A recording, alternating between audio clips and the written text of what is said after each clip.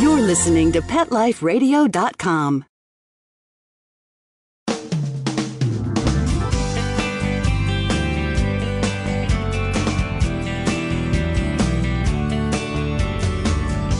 Hello, and welcome to Working Like Dogs on Pet Life Radio. Thank you for joining us today. We're your hosts. My name is Marcie Davis, and my co host is my trusty service dog, Whistle. And we're thrilled to be here with you today to talk about working animals. And we all know about animals as pets, but our show, Working Like Dogs, brings you the latest information about animals with jobs and animals that work, like Whistle. And today, our guest is Nicole Meadowcroft. And Nicole is the president of OccuPaws Guide Dog Association in Madison, Wisconsin. And Nicole's going to talk with us today about the work that she and her organization are doing to place well trained guide dogs with people who have visual disabilities. So we're really thrilled to have Nicole with us, and we're going to take just a quick break for some important messages from our sponsors, and we'll be right back with Nicole Meadowcroft. So please come back and join us.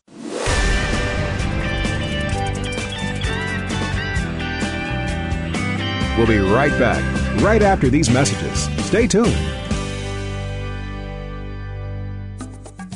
Hey, ready to take a walk? Not just you, but the whole family. It's the 2009 Whisker Walk, Sunday, June 7th from 11 to 3 at the Lancaster Fairground in Lancaster, Massachusetts. Pet owners and animal lovers walk to lend a paw to benefit the animal shelters and pet charities they love. Come see exhibits, demonstrations, educational programs, special attractions, product giveaways, entertainment, auctions, raffles, food, fun, and things for adults and kids to see, do, and buy, both human and pet related. Whisker Walk 2009, a fun day for everyone. For more information, log on to whiskerwalk.org. Ladies and gentlemen, Pet Life Radio proudly presents DSPN, the Dog Sports and Performance Network. Get ready to unleash the dog sports enthusiast in all of us, from speed drawing and mushing to racing, agility, and competition.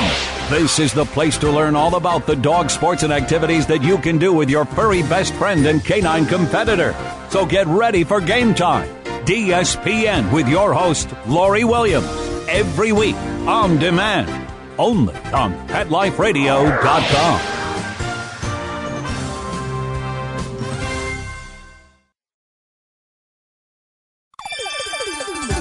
Let's talk pets on PetLifeRadio.com.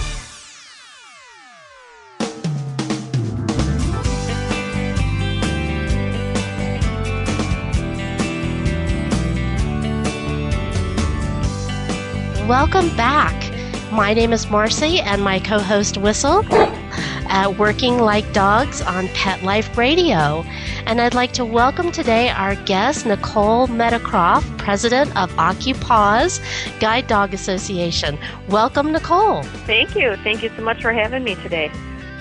Well, we're so thrilled that you could be with us. I'm so excited to hear about your organization. So tell me, what is the OccuPaws Guide Dog Association and how did it come to be?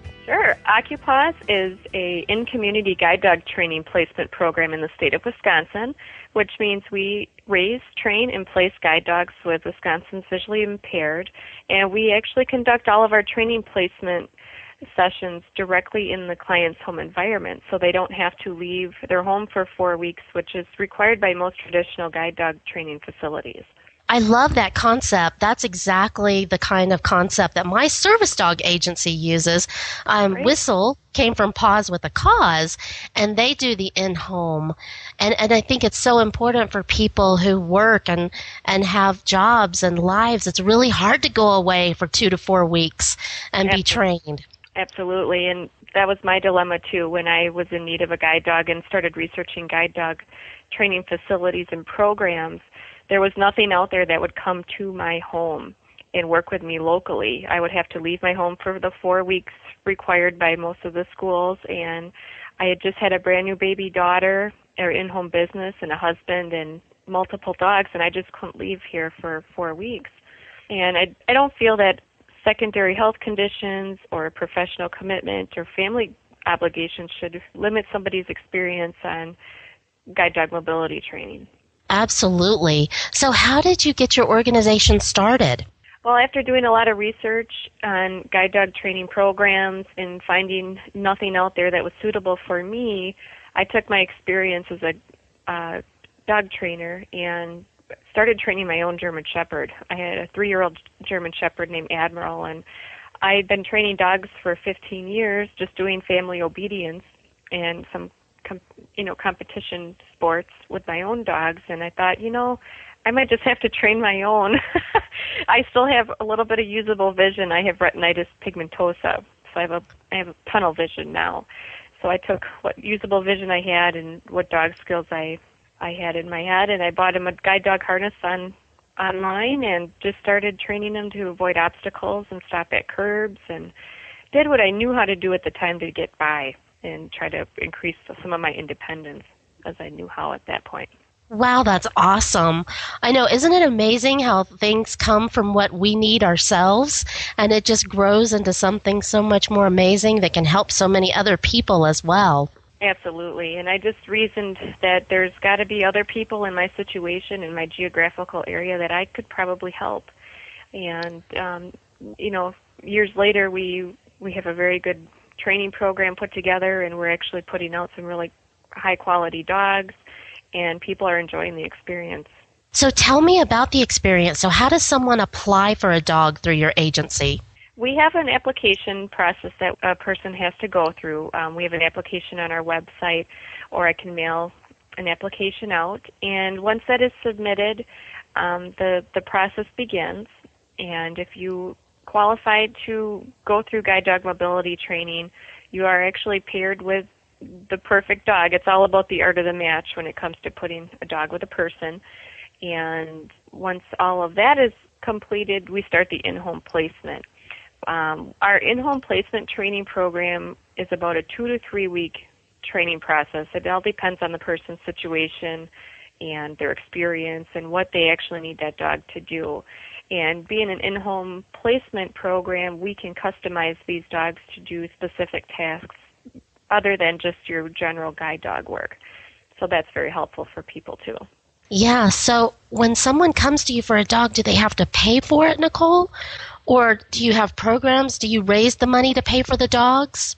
The total cost of training a guide dog from start to finish, and that's taking a puppy, putting it with a blind person, and technical support for the lifetime of the team, costs our organization up to $25,000. Being a local nonprofit organization, these dogs are given at no charge to the client. We do fundraise and we do write and apply for grants and we definitely need help in that area to raise these funds for these people. Wow, that's amazing that you guys do all of that and give the dogs at no cost to the individuals. Wow, that is that is a huge gift that you're giving each client. Absolutely. So when someone applies for a dog, I'm very familiar with service dogs, but I don't know all the specifics about guide dogs. So do you assess the person when they apply? What type of assessment do you do to see what a dog can do for them? Or do you have a certain set of commands that you teach every dog?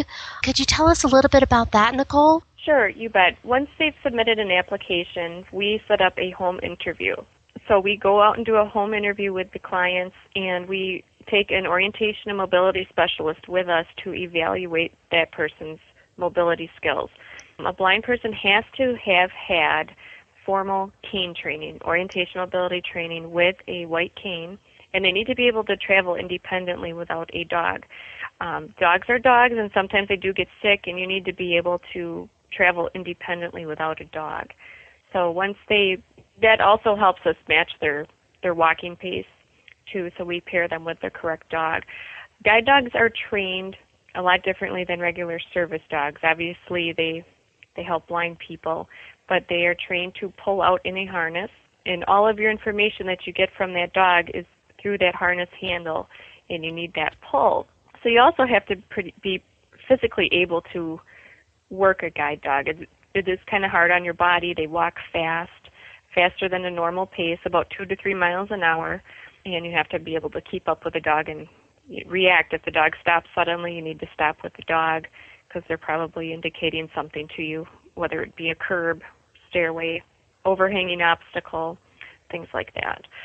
So once they're paired, or once we have done our assessment of their mobility, then we can properly pick the correct type of dog for them.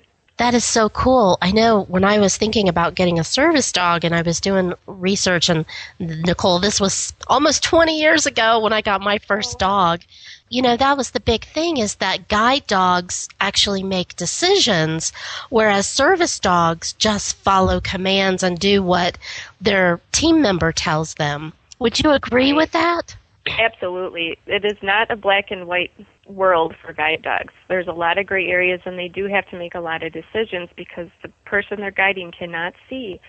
So when you tell your dog forward, he's going to go in a straight line until he can't go anymore. So they're trained on a straight line concept per se. They go from point A to point B until you're given they're given a direction and then they go to point C, etc. So if we're working in a residential setting and I tell my guide dog Dale forward, he's going to take me in a straight line until we hit an intersection or if there's something blocking our way, he will stop for that so I can figure out what it is and where I'm going to go from there. So they they work on a command to command basis. And what the guide dogs are trained to do is avoid obstacles, obviously, stationary and, and moving obstacles such as pedestrians, vehicles, bicycles, um, they're trained to step for changes in elevation, which could be up and down curbs, um, rough terrain, grass to sidewalk, whatever you may encounter. A stairway, elevators, escalators. They're they're trained to find those types of items. And a lot of uh, the one of the most frequently asked questions I get from people is how does the dog know when it's safe to cross the street? well, part of the ori- part of your orientation mobility training that you get when you're working with somebody to do the white cane training is they teach you how to read traffic. So you as the driver really need to know when it's safe to cross the street by using your hearing um, and when you feel it's safe, you can command the dog to forward and cross the street. And if there is a car coming or a bicycle that you don't hear, the dog is trained to disobey you. It's called intelligent disobedience. So so that's very interesting. Wow, that's the part, yeah, that's the part that I find so fascinating is the whole decision making process and that going against what your human partner is telling you. Yep. Because I know how much Whistle relies on me to tell him what to do and how he, he really responds to my reaction. Um, but again, it's that, that huge critical difference that you were talking about between service dogs and guide dogs. Right. But it's interesting. People always think that Whistle is a guide dog. Okay yeah, even though he's not. But if I, I'm a wheelchair user and if I wear sunglasses, people automatically think I'm blind and that he is a guide dog. So yeah, so we always laugh about that. You say no, he's actually a service dog, which is very different. But I just right. love that. I love that they actually get to make decisions and and the thought process is just so amazing. I just think guide dogs are the coolest thing in the world. It is a very, very cool mobility tool. Compared to using the white cane, I prefer using the guide dog. And the reason I prefer prefer it is, first of all, you get to from point A to point B fast. I mean, it's really cool when you can't see and you're blowing by people on the sidewalk, and it's it's really fun for me. Or you go to the shopping mall and you know you're just whizzing past all these people going to where you need to go, and that that's a really cool feeling for a blind person. That's Without the very dog, cool. You'd be, you'd be going really slow and trying to feel your way. And with the cane too, you're, you know, I, I like to, I like to call the dogs obstacle avoiders and canes are obstacle locators because when you approach something with a cane, you have to figure it, you have to stop, you, you figure out what it is, how do I get around this, and with a dog, he's seeing that obstacle 20, 30 feet ahead of you, and he's already making his decisions before you even reach that. And you probably don't even know you've avoided an obstacle by the time it's it's it's past you. So that's one nice thing about a guide dog. Wow, that is so cool.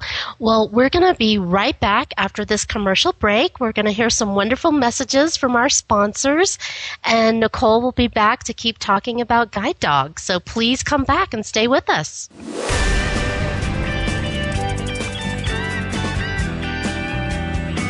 We'll be right back, right after these messages. Stay tuned.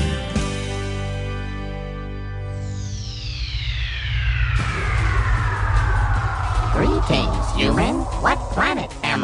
Welcome to Pet Planet. Here's a copy of Pet Planet Magazine, Florida's most informative and fun pet resource magazine. It features heartwarming stories and informative articles from local and national pet experts. Excellent. Pet Planet Magazine offers Operation Planet Rescue, helping rescued pets find new homes. And it's available at 500 locations in South and Central Florida and 24 7 on the internet at petplanetmagazine.com. If you're out and about with your pet, you may be featured in paparazzi, candid pictures of you and your pet. For up to date pet friendly events, activities, and pet related services and products, Pet Planet Magazine is your final destination. I shall take this magazine home with me. Back to your home planet? No, to my condo in Boca. Pet Planet Magazine. Check them out at www.petplanetmagazine.com or 352 394 8578. It's out of this world. Pets can be a wonderful addition to your life because they're a member of the family. Keeping them healthy and happy is important. Pet Life Radio presents The Pet Doctor with veterinary media consultant and veterinarian Dr. Bernadine Cruz. Whether you have a dog, cat, reptile, or rabbit, you'll find answers for your pets straight from the vets. The Pet Doctor, on demand every week, only on PetLifeRadio.com.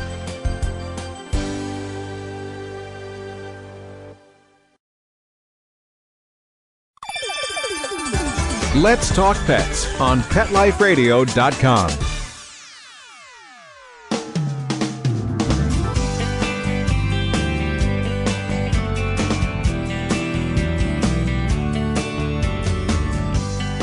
Welcome back. This is Marcie Davis and Whistle, and you're listening to Working Like Dogs on Pet Life Radio.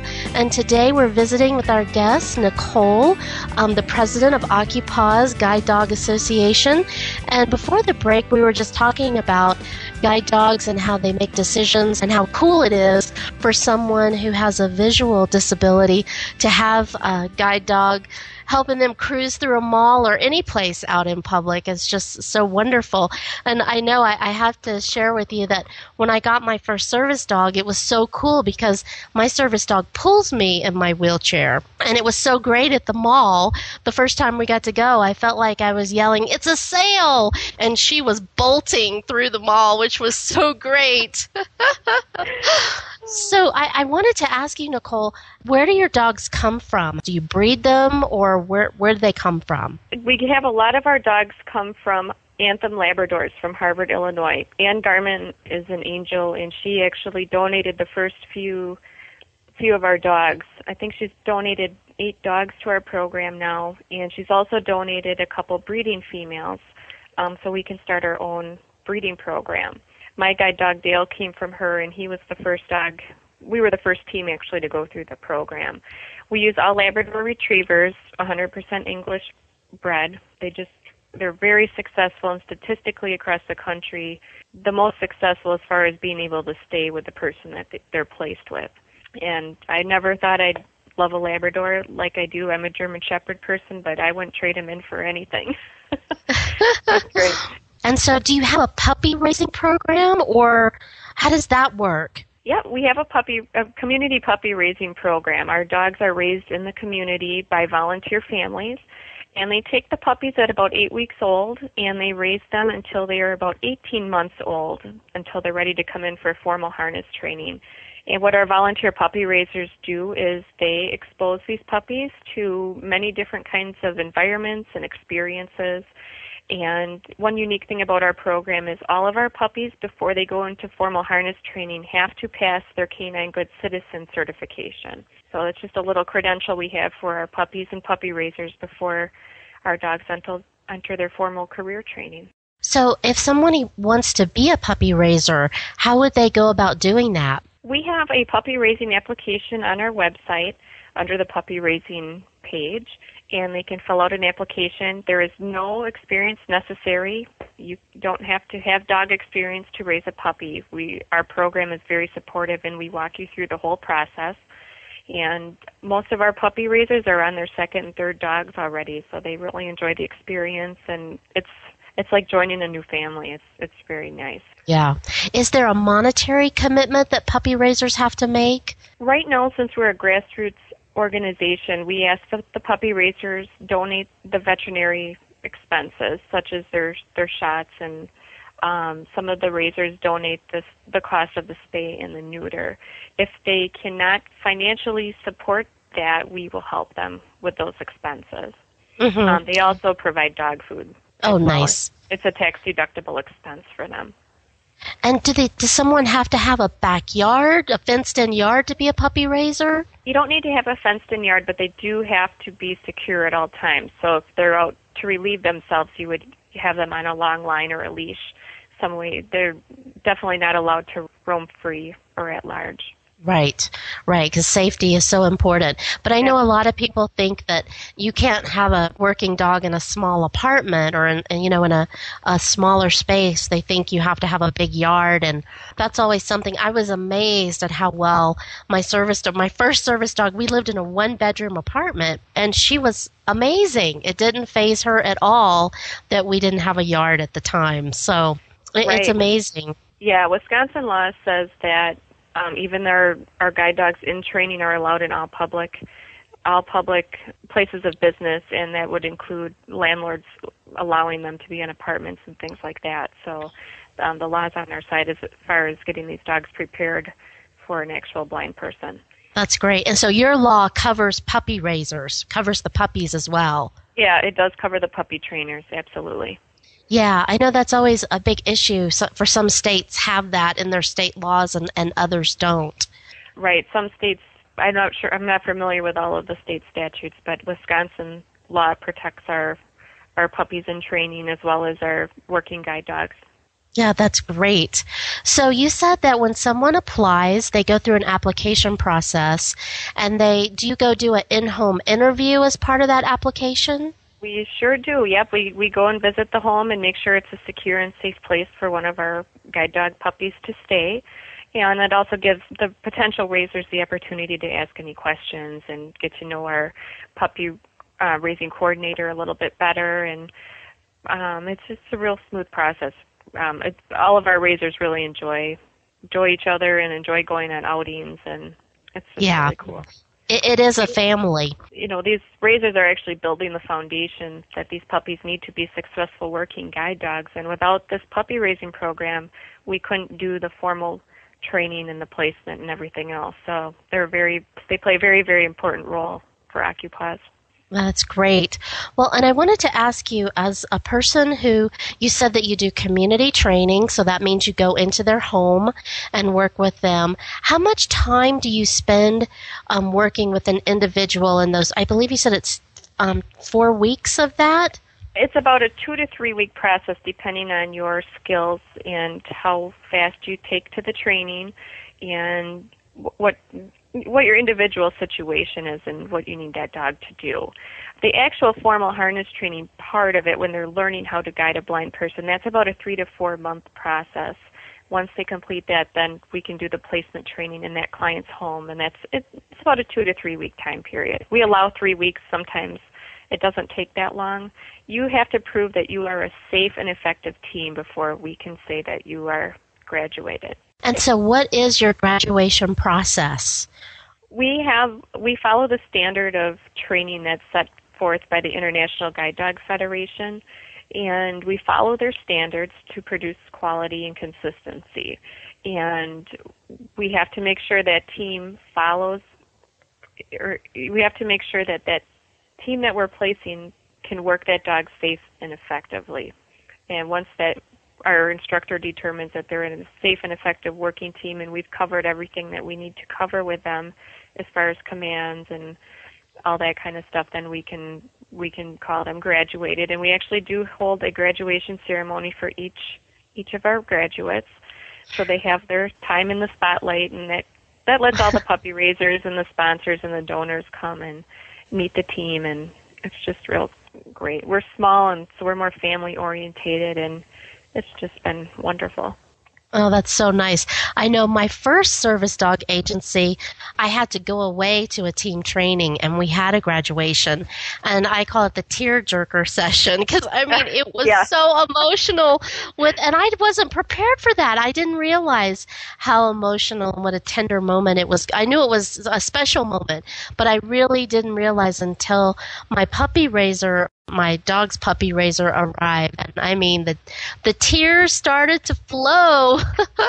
it doesn't get easier either. It, every graduate has a different story, and it's a different situation. And as the president and the main speaker, it never gets easier for me either. I thought it would, but I've cried at every one. I know, I know. It's just, it is really emotional when you really realize all the love and care and hopes and dreams that go into each animal. And, Right. and that just really is, you can just, you can feel that so strongly in a room. And until you've experienced one of those graduations, you really can't get a feel for how special and wonderful it is and, and how much, how many lives it's changed. You know, not Right. only the, the person that's getting the dog, but the puppy raiser and all the different people that that puppy touched in its time growing up to become a working dog. It's just the coolest thing. We're expanding our services now to include children. Um, typically, across the country, um, many guide dog training programs don't work with youth that that are under the age of 16. And so our newest program that we're launching is called Children's Visual Companion Dogs. And what these dogs will do is they will go into family homes that have children with visual disabilities and we work with the parents of the the blind child and we teach them how to navigate a dog around obstacles and changes in elevation and everything a blind person expects a dog to navigate around. And in turn this child holds on to a special harness and it is giving those kids just very very strong sense of independence profound pride and increased self-esteem and responsibility. And it's just kind of bridging the gap to independence for them and also priming them to use a guide dog when they're older and able to go through the the guide dog mobility training program. Oh, that's wonderful. And so, what ages are you looking at in the youth? Um, we're starting at around age three and going up to about age 11 or 12. Um, around, you know, between 9 and 12 is when they, w- when blind youth really get proficient at their cane skills. And these dogs will only be used with these kids, you know, when they're with their parents. Um, they can take them out into public. They're not going to be going to school with these kids because they do need to. They still need to learn their their cane tra- their cane travel with their vision teachers um, and be independent at school. But this is just a mobility aid for them when they're out shopping with mom and dad. They're going places with their parents, and they they don't want to hang on to mom and dad. They'd rather hold on to the dog's harness handle, and it's a real big comfort for these blind boys too. These blind kids Oh. too. Currently, That's- we're working with three blind boys right now um, in our pilot program, and their their lives are changing. One of the parents, Kim Ward, who helped us develop this program, said it has just changed her kid's life immensely. Going to doctor appointments and dentist appointments and all that scary stuff that kids have to do, and then being blind on top of it escalates that fear a little bit more. And these dogs are just they're just changing lives. That's all, that's what it's all about.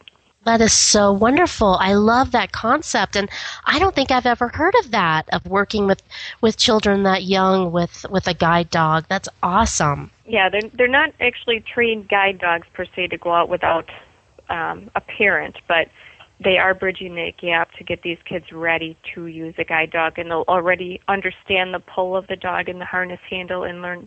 They're learning how to follow a dog. Is pretty much what they're doing, as well as gaining their more independence, and Right.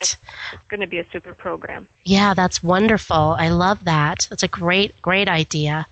So, after someone receives their guide dog and they've graduated, they've been determined that they're um, they're safe together. What is your follow up process? Is there any additional follow up work that's done? Do you check back in with them after so long, or are they on their own for good? Oh no, they're not on their own for good. And one nice thing about us being a local program and working with people in our own community is we are right here. We are right next door. So if there's any problem or concern or they have any questions, we're a phone call away. Um, sometimes we're only five minutes away if we need to get there and work with them on an individual basis. But no, our follow up is on an as needed basis. We do a formal follow up um, and check up on them about a year after their graduation date and then every year after that. Oh, that's great. I know um, Whistle and I have to go through a recertification process. Yeah, every about 18 months to two years, we have to go through all of our commands, and, and our trainer has to view us in public and at home, do all of that, and they call it a recertification process. And I really okay. like that because yeah, it yeah, well, I love that you're just a phone call away. That's so nice that um, because you never know what's going to come up. Or I've had some issues with my dogs where something scared them. One of my dogs was attacked when I was getting on an elevator in Washington D.C. Um, oh, to go get on the metro. Yeah, I would have never have expected that. And so she, of course, had some issues that that happened out of that that we had to work through. Yeah, so you know, the one thing that I learned about having a working dog is they're not robots. They're sensitive. They have feelings. They get upset, and Absolutely. you really have you have to work with them. Yeah, and you have to understand those things, and and really work with their strengths and deal with their weaknesses.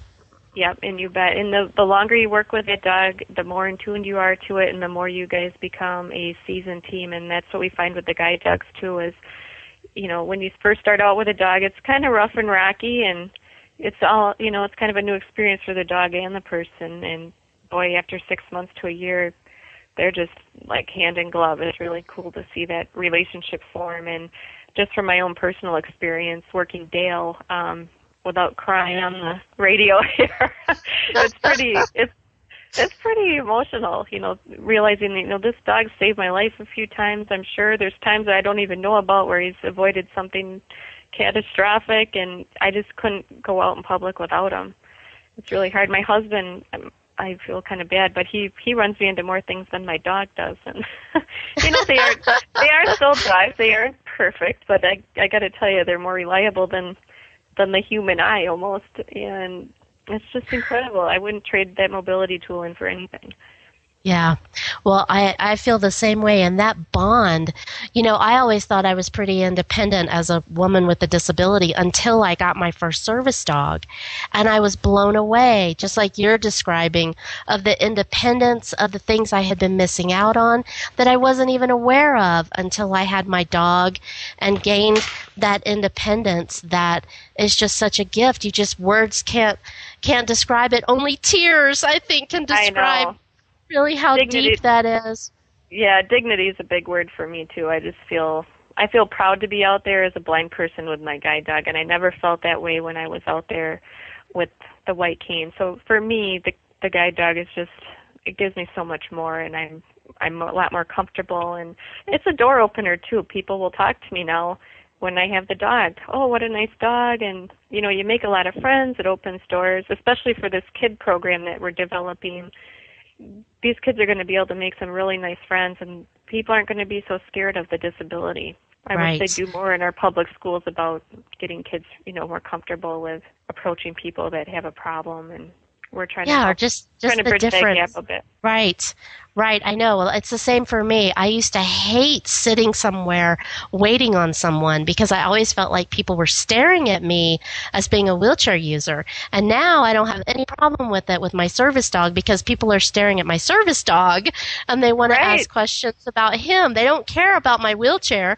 They're more interested in my dog, which is wonderful yeah, pe- you know, people with disabilities aren't so contagious when you have a dog with you. That's right. That's right. well, Nicole, I am so sorry our time is up. It has been such a delight visiting with you today and learning about the OccuPaws Guide Dog Association. And I just have one last question for you, and that is how can people get in touch with you and your organization if they want to volunteer or donate money or time? What's the best way to reach you? Um, all of our contact information and our donation information is on our website at occupaws.org. It's O-C-C-U-P-A-W-S dot org. And you can find out more information there. And we sure need some support and we need help and we need dollars to make this program fly. Anything you can do to help would be excellent.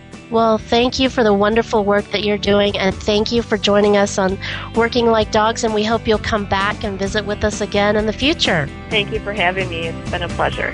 Well, and thank you, our listeners, for being with us. We hope you've enjoyed our show today, and I hope that you'll visit us at petliferadio.com And please feel free to send any questions or comments or ideas for future show. You can email me at marcie at petliferadio.com.